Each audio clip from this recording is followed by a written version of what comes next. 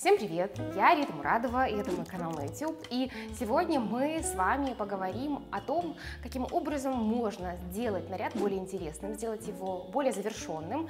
И мы поговорим о семи способах, которые решают главный вопрос, когда ты одеваешься. Я прекрасно знаю, я знакома с такими ситуациями, о которых мне не раз рассказывали, когда ты надел образ, и тебе кажется, что чего-то не хватает – так вот, чего может не хватать и как это исправить, об этом мы прямо сегодня поговорим. Так что, если эта тема вам интересна, продолжайте смотреть.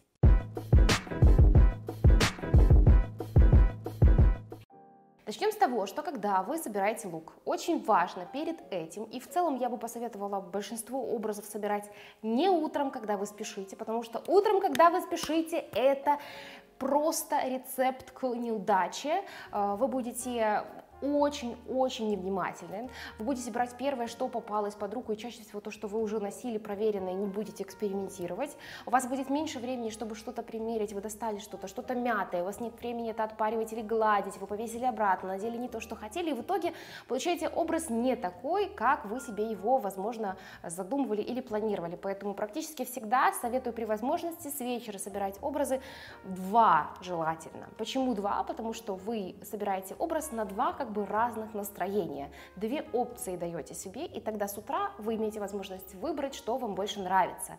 Когда вы собираете образ, безусловно, нужно учитывать погоду, а, свой потенциальный характер, настроение, место, куда вы идете, какие-то определенные условия, возможно, дресс-код, а также количество вашего передвижения в течение дня, потому что если вы очень много будете ходить, то, скорее всего, высоченные каблуки вам просто не подойдут, каким бы красивым образ с ними не был. Поэтому я бы посоветовала просто две опции собирать. Так вот, когда вы собираете выбирайте образ, и пусть даже утром или вечером. Самое первое, о чем вам нужно думать обязательно, это чтобы в рамках одного образа не повторялись идентичные вещи по стилю, потому что если у вас в образе абсолютно все классическое, и блуза, и брюки, и м, туфли на шпильке, и классическая сумка, классическое пальто, классическое жемчужное ожерелье, вы в итоге получаете очень утрированный практически костюмный, сценический образ, а не живой. А живой образ и интересный, он он всегда работает на контрастах и на балансе. А это значит, что чем более контрастные и полярные стили в рамках образа, тем интересней. Но даже если не контрастные и полярные, даже если они рядом стоящие, но все-таки отличающиеся друг от друга, это уже огромный плюс. Например, сегодня на мне, просто продемонстрирую вам, на мне сегодня блуза в очень, тут даже нет сомнений, романтическом стиле, и джинсы. А джинсы это casual. И тогда мы уже с помощью э, сочетания двух вещей получаем более интересный образ образ. А представьте, что на мне была бы эта блуза и какие-то еще розовые брюки с рюшами или с волнами. И тогда ты получаешь, да, быть может, симпатичный, но не такой глубокий и интересный образ. И чаще всего различие стилей или хотя бы наличие более одного стиля – это то, чего не хватает в рамках наряда. Еще один момент, на который стоит обращать внимание, когда вы создаете образ, и в образе есть та или иная фурнитура, или вы подбираете украшения, чтобы сделать его более глубоким, более завершенным и более интересным, и это то, чего часто не хватает, нужно добавить несколько металлов. Благодаря миксу металлов, миксу финишей, например, у вас браслет с золотым финишем, а чокер с серебряным или кристаллы, вы добавляете глубины завершенности наряду, за счет чего он смотрится интереснее, даже если все остальные позиции в наряде достаточно нейтральные. В рамках монохромного лука, если вы такой собираете, я знаю, что особенно в эту прекрасную, серенькую, дождливую, холодную погоду не хочется лишний раз заморачиваться, и я знаю, как сложно составлять цветные, многоцветные, яркие луки, поэтому многие идут в сторону монохрома. И чаще всего, давайте просто признаемся, этот монохром очень нейтральный. Либо тотал черный лук, либо тотал серый, тотал бежевый, шоколадный. Так вот, даже в рамках монохрома очень важно делать образ более глубоким. Как можно сделать образ более интересным и глубоким, и не повторяющимся? Это использовать более одной или даже лучше двух фактур. Например, у вас есть Total черный лук, который, я знаю, чемпион по носке в рамках такого холодного сезона. В рамках Total черного лука у вас могут быть идентичные матовые черные классические брюки, матовая блуза, матовый жакет и матовая обувь кожаная. И тогда вы получаете достаточно однообразный лук. Если же вы возьмете, допустим, кожаные брюки, блузу полупрозрачную, опять же, допустим, это могут быть разные варианты, и лакированную обувь или лакированную сумку, или лакированный плащ в стиле 60-х, вы уже получаете в рамках просто тотал черного образа разные финиши материалов и очень полярные финиши изделий. И тогда этот образ будет более интересным, глубоким и просто как минимум будет смотреться более завершенно. Чтобы сделать образ более интересным, чего часто не хватает, это баланс различных и, опять же, часто противоположных форм в рамках одного наряда. Что я имею в виду? Если у вас есть, например, опять же, приведу пример моего образа, который вы частично видите у себя на экране. Одна его часть это бью, бьюза, блуза с объемными рукавами, фонариками. Она достаточно массивная, она держит форму, она заметна. И форма самой блузы и ее частей очень обтекаемая. Это значит, что желательно, чтобы в образе балансировала эту блузу что-то достаточно геометричное и наоборот не плавное, а ровное остроконечное, геометричное. В данном случае, например, на мне джинсы прямые, с подворотами, держат форму, контрастные по цвету и которые без дополнительных обтекаемых декоративных деталей. Также на мне еще обувь, которую вы не видите, остроносая, которая тоже добавляет геометрии, балансирующей блузу.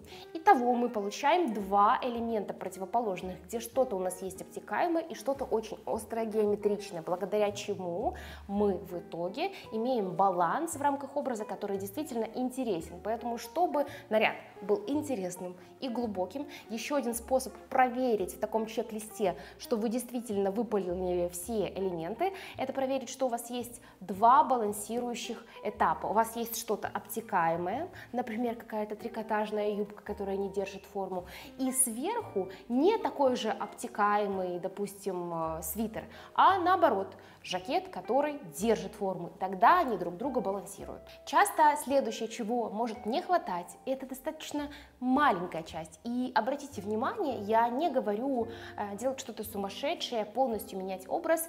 Большинство элементов, которые я сейчас упоминаю, это элементы, которые на самом деле очень легко можно исправить, и этим можно разбавить даже самый минималистичный, самый базовый лук. Сейчас я говорю про аккуратные, деликатные аксессуары. Например, у вас лук из джинсов, футболки, лоферов, жакета. Вы надели, и вроде бы неплохо, и формула лука интересная, но чего-то не хватает. И чаще всего не хватает маленьких деталей. Например, в джинсы добавить аккуратный минималистичный пояс.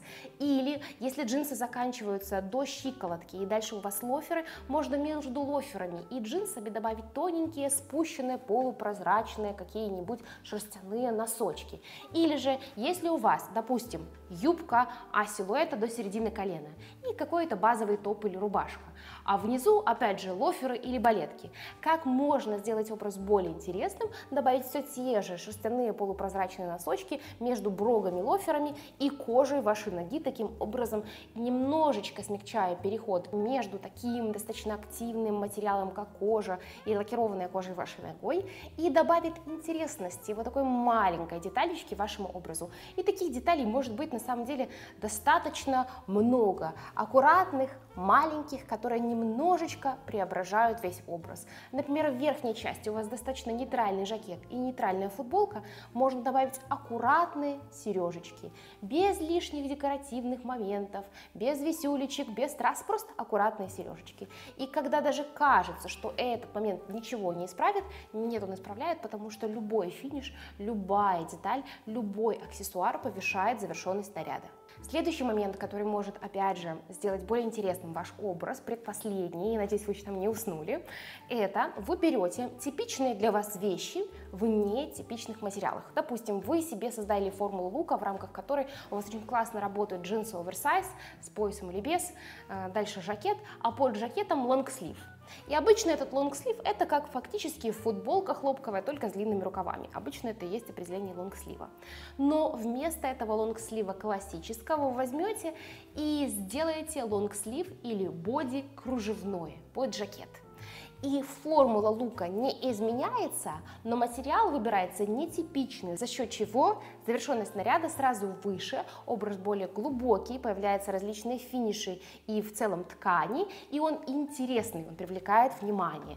Или же вы берете блузу какую-то классическую, там, шифоновую, допустим, или блузу шелковую, и меняете ее на полупрозрачный шелк, где слегка проглядывается ваше кружевное нижнее белье бра.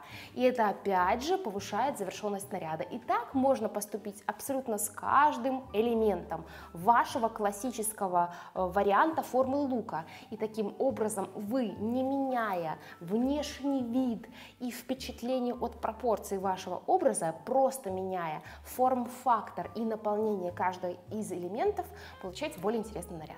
И последний способ, который, конечно же, беспроигрышный, не могла его не упомянуть, это добавление цвета и принта или принта в наряд.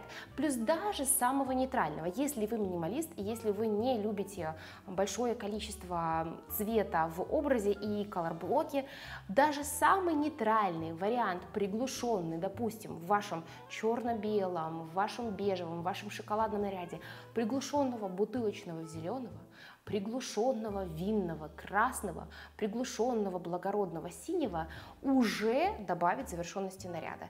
Или в рамках вашего образа в вашем нейтральном жакете появляется жакет в мелкую нейтральную клеточку. Уже завершенность и глубина наряда более интересны. Я надеюсь, что эти приемы, которые я сегодня вам осветила, вы будете употреблять. Пишите в комментариях внизу, какие у вас есть фишечки и способы самый базовый наряд сделать чуть-чуть более интересным. На сегодня это все. Люблю, целую. Ваша Рита.